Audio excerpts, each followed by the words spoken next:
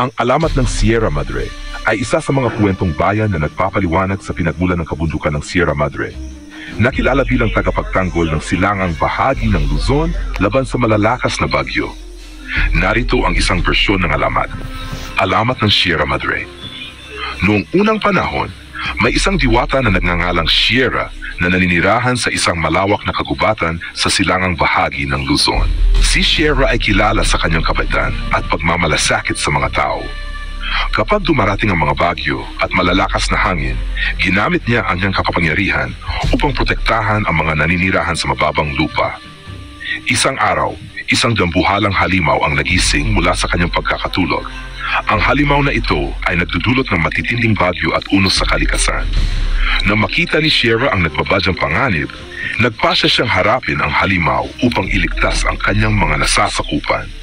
Sa gitna ng labanan, ginamit ni Sierra ang kanyang kapangyarihan upang hadlangan ang halimaw, ngunit napagtanto niyang hindi sapat ang kanyang lakas upang ganap na mapigil ito. Dahil sa kanyang matinding pagmamalasakit, isinakripisyo ni Sierra ang kanyang sarili. Ginamit niya ang huling patak ng kanyang kapangyarihan upang maging isang mataas na kabundukan na nagsilbing harang sa mga paparating na bagyo. Mula noon, ang kabundukang ito ay tinawag na Sierra Madre na nangangahulugang ina ng kabundukan.